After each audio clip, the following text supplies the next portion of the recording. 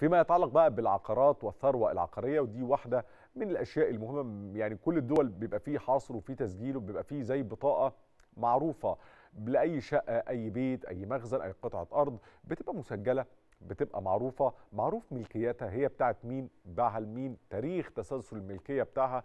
ده الحقيقة بيقضي على فكرة الاحتيال فكرة النصب فكرة التلاعب في الملكيات وما إلى ذلك. فكل الدول بتبقى حريصة إن هي تعمل هذا الحصر.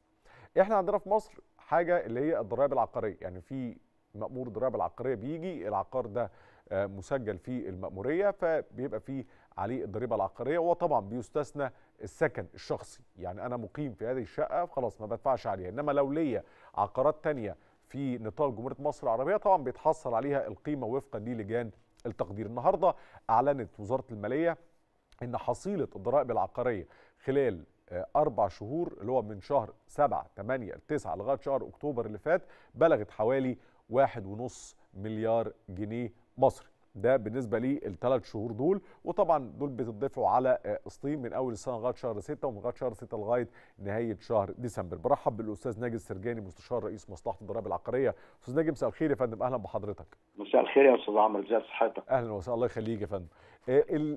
مدى يا فندم الوعي بفكرة الضريبة العقارية؟ ناس كتير يعني بيختلط عليها الأمر مش مش فاهمة يدفع هيدفع الضريبة العقارية على إيه؟ أساس التقدير إيه؟ والتظلم إيه؟ حتى الآن للأسف يعني. هل أنتم بتلاحظوا ده؟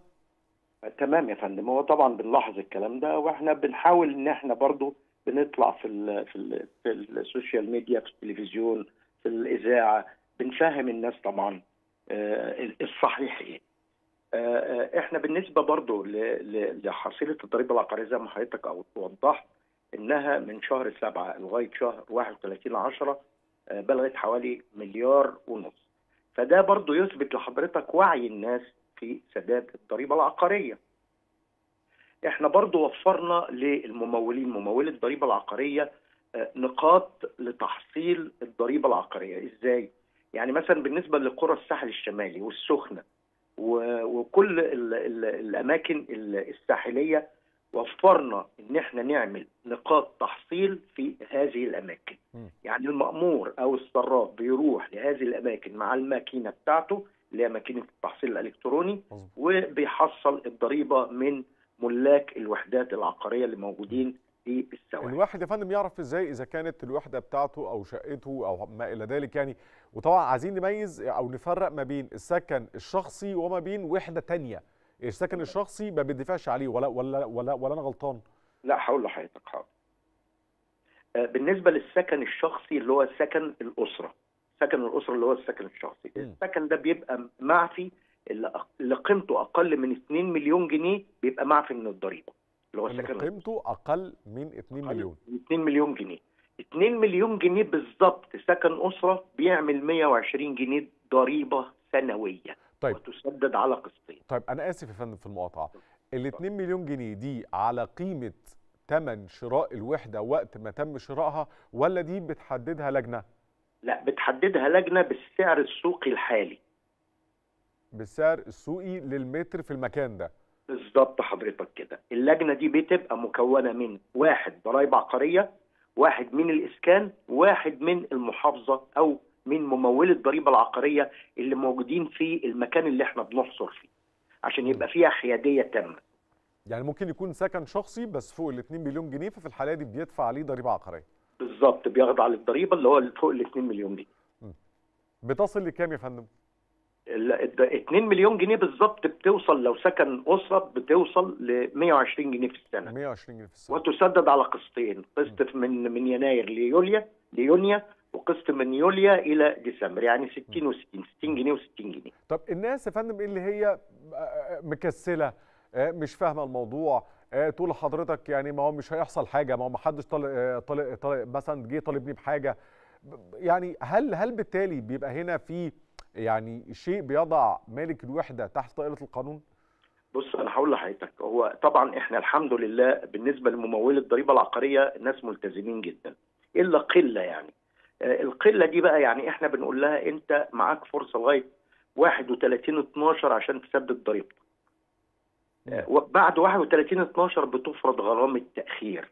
غرامة التاخير دي آه، بتحدد بوسط البنك المركزي على أساس سعر الفايدة السائد في السوق. خدت بال حضرتك فهيدفع الضريبة عليه آه وال- أيوه والغرامة الضريبة والغرامة. فإحنا بنقول لا أنت سدد علشان ما تدفعش غرامة بعد كده. مم.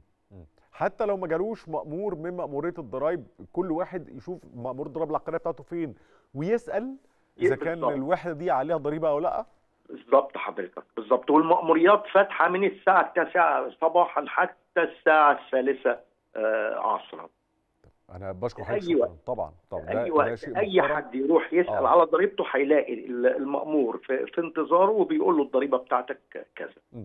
طيب ال- ال- التصرفات العقارية برضو كنا لسه بنتكلم إن هي لا تطبق على ال- ال- القرى في ال- الريف وفي النجوع تطبق فقط على المدن. ده بالنسبة للتصرفات العقارية فندم مش كده؟ بص برضه عايزين نوضح للناس مم. حاجة. في فرق بين الضريبة العقارية وضريبة التصرفات العقارية. تمام. ضريبه التصرفات العقارية دي ب ب ب بتكون نتيجة بيع وحدة عقارية سواء كانت سكنية أو غير سكنية كانت في القانون ال- القديم قبل ما يتعدل كانت 2.5% مم. وبتحصلها آه، وبعدين اتعدل القانون بقت شرايح آه، بتحصلها مصلحة الضرائب المصرية وليست مصلحة الضرائب العقارية عشان برضو نوضح الصورة للناس يعني. في فرق بين مصلحة إحنا إحنا الاثنين تبع وزارة المالية. بس دي مصلحة ودي مصلحة في مصلحة الضرائب المصرية اللي هي مصلحة الضرائب على الدخل دي بتحصل ضريبة التصرفات العقارية. أما مصلحة الضرائب العقارية بتحصل الضريبة العقارية على المباني. التعديل يا فندم الت- التعديل ده آه، يطبق هو طبعا لسه بينظر يعني في البرلمان. ب- بص يعني أنا بالنسبة برضه لضريبة التصرفات العقارية أنا مش ما أنا. فاهم طبعا يعني بس آه. بس قلنا نستفيد من وجود حضرتك يعني وكان لسه معانا النافي يعني لا هو برضه حضرتك دي يرجع فيها إلى طبعا آه، المستشار الإعلامي بتاع مصلحه. الضرائب المصرية لكن حتى الآن يعني أنا بشكر حضرتك الحقيقة على المعلومات اللي حضرتك قلتها الأمر غاية في البساطة بالنسبة للضريبة ال- العقارية فكرة إن أنا أعرف إذا كانت الوحدة اللي أنا ساكن فيها دي عليها ضريبة عقارية أو معلهاش ده لو هي ب 2 مليون جنيه يبقى وسكن شخصي يعني ممكن يصل الضريبة بتاعتها ل 120 جنيه في السنة على قسطين. ولكن ده يعني أشبه بالحصر أهمية إن يكون عندنا حصر يا أستاذ ناجي للمباني والثروة العقارية في مصر إيه؟ طبعا مهمة جدا جدا علشان أبقى عامل حصر للثروة العقارية في جمهورية مصر العربية كلها. أنا إلى الآن ما عنديش رقم لحصر الثروة العقاريه لقيمة الثروة العقارية في في جمهورية مصر العربية. أنا لما بعمل حصر بيبقى عندي معلومة عن قيمة ال ال الوحدات العقارية الموجودة في الجمهورية كلها. دي طبعا بتسهل لي في الحصول على خدمات كتيرة من الدول بتبقى منحة لقروض حاجات زي كده يعني. أنا بشكر حضرتك يا فندم. شكرا جزيلا أستاذ ناجي السرجاني مستشار رئيس مصلحة الضرائب العقارية.